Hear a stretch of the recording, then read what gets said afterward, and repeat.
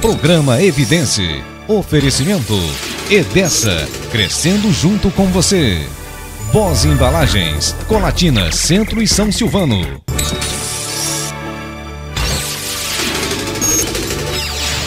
Ei, gente, meu nome é Mariana. Estou aqui tomando conta do programa Evidentes para Elisângela. É claro, porque é dia das crianças.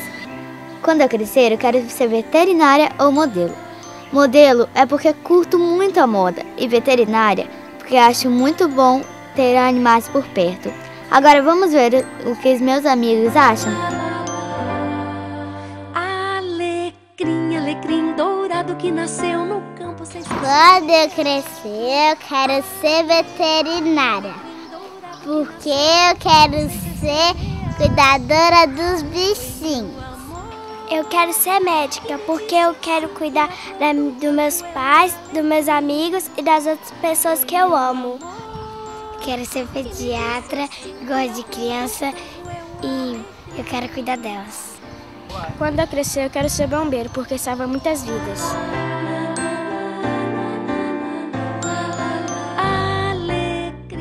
Viram só que gatinha que está aqui me ajudando a apresentar o programa Evidência? Pois é, Dia das Crianças e nada melhor que ter, né? Esses seres que nos encantam, que nos enchem de alegria todos os dias, pertinho da gente nesta data tão especial. E agora eu queria perguntar uma coisinha para Mariana. Mariana, você já fez muita cartinha para seus pais?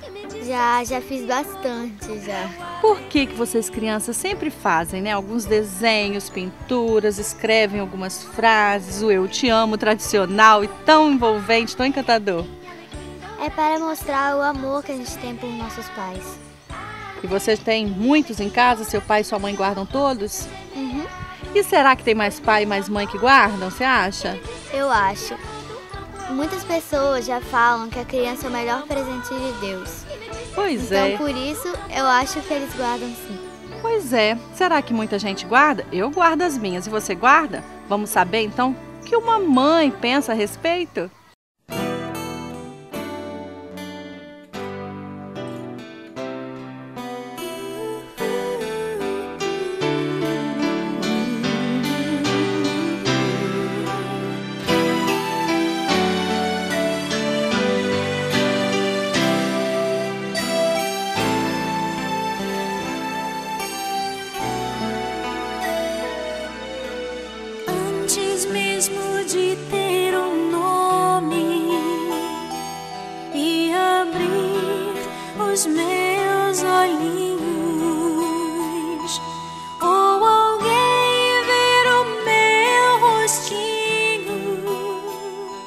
Emoção, alegria, amor, brilho no olhar.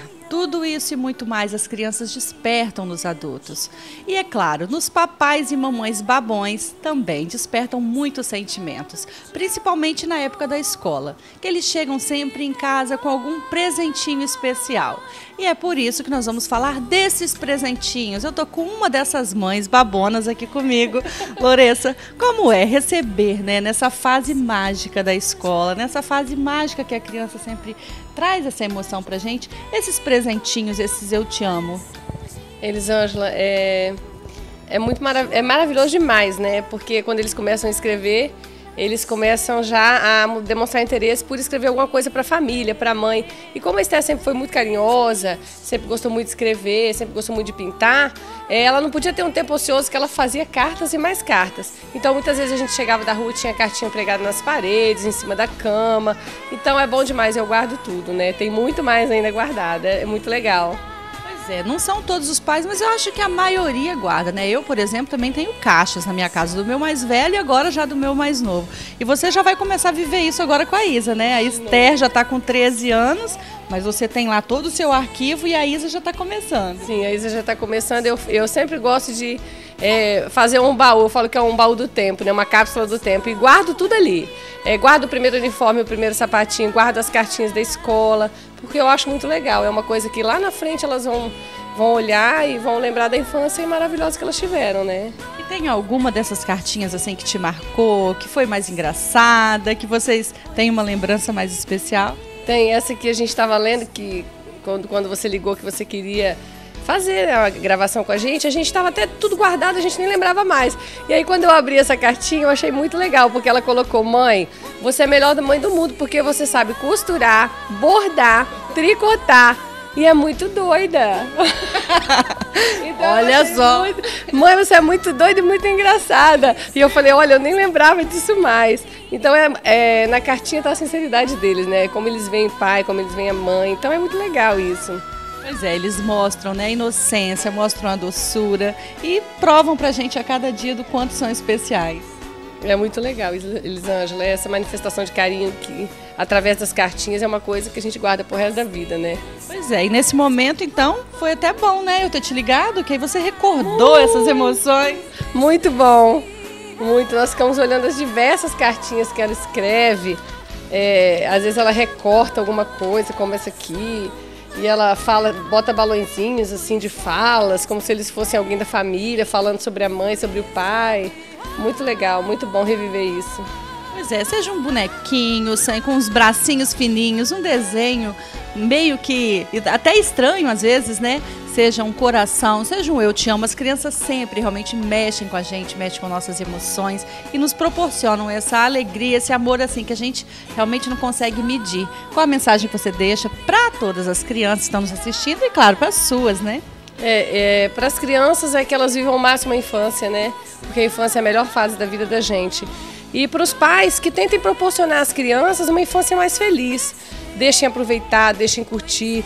Porque, como eu digo sempre para minha, para minha Esté, se a gente viver 80 anos, a gente só tem 10 de infância. Então é muito pouco. Enquanto mais a gente prolongar, eu acho que mais a gente é, terá satisfação quando a gente for adulto, mais a gente terá equilíbrio.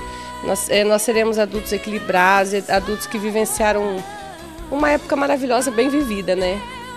Pois é, gente, é isso. Feliz Dia das Crianças para todas as crianças, para as filhinhas da, da nossa querida Loressa, para o seu filho, para sua filha. E vamos deixar eles realmente serem crianças, vamos brincar, vamos sentar no chão, vamos guardar tantas recordações. E o mais importante, amá-los muito.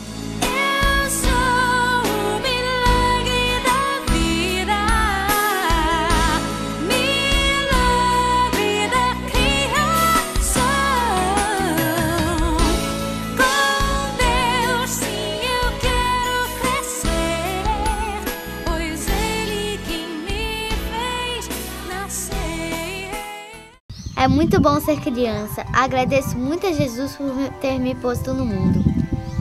Um beijo para todas as crianças que estiverem assistindo agora o Evidência. E um feliz Dia das Crianças para vocês. Agora vamos ver um monte de fotinhas de crianças lindas.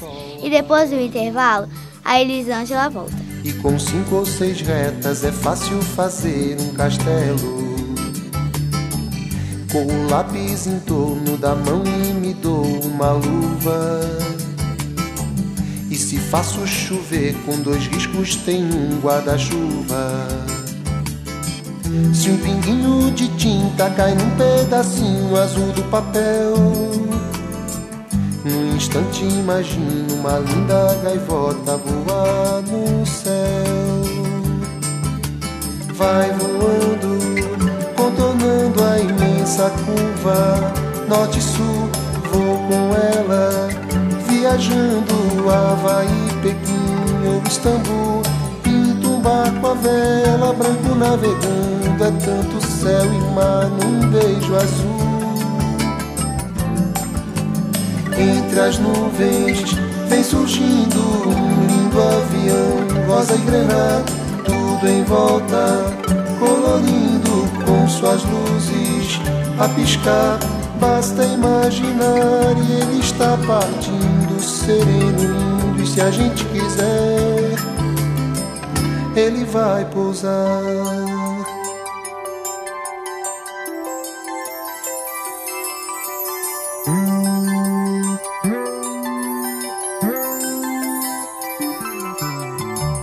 Numa folha qualquer eu desenho um navio de partida. Com alguns bons amigos bebendo de bem com a vida. De uma América a outra eu consigo passar num segundo. Giro um simples compasso e num círculo eu faço o mundo. caminha e caminhando chega no muro. E ali logo em frente a esperar pela gente o está. E o futuro é uma astronave que tentamos pilotar. Não tem tempo, nem piedade, nem tem hora de chegar sem pedir licença. Muda nossa vida e depois convida a rir ou chorar. Nessa estrada não nos cabe conhecer ou ver o que virá, o fim dela. Ninguém sabe bem ao certo onde vai dar. Vamos todos numa linda passarela de uma aquarela que um dia enfim descolorirá. Numa folha qualquer eu desenho um sol amarelo que descolorirá.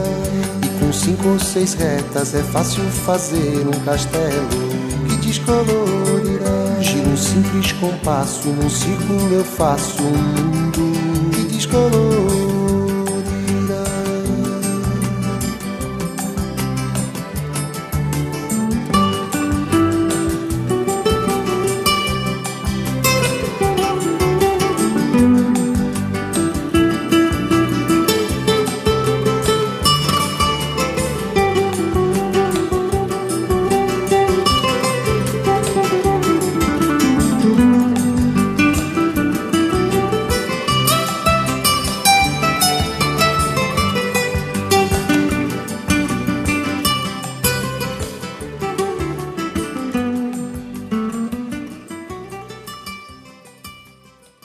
Realce o que você tem de melhor num espaço aconchegante onde você encontra produtos de qualidade com atendimento diferenciado. Isso somente no espaço VIP Salão Estética, onde você é a estrela. Travessa Túlio Margoto, número 9, no centro, próximo ao Bradesco, 3722 1977. Conforto, sabor e qualidade são apenas alguns dos ingredientes que fazem a Cantina Gaviorno ser o endereço perfeito para você que quer aproveitar o bom da vida. Pratos variados, horário diferenciado, entrega de marmitex no centro da cidade e ainda um buffet à sua disposição e o lugar ideal para você realizar sua festa. Ligue 3722 5994 e conheça nossos serviços. 更。Cantina Gaviorno, Avenida Getúlio Vargas, Centro de Colatina. Pensou em impressoras fiscais? Coldata. Pensou em servidores? Coldata. Pensou em computadores e notebook? Coldata. Pensou em câmeras de segurança? Coldata. Pensou serviços de informática para sua empresa? Coldata. Pensou em soluções confiáveis? Pensou Coldata. Coldata 3200 7922. Ligue e solicite uma visita. Coldata, Rua Maurício Juliati 119, em São Silvano. Fique em dia com a sua saúde na Academia Oxigênio.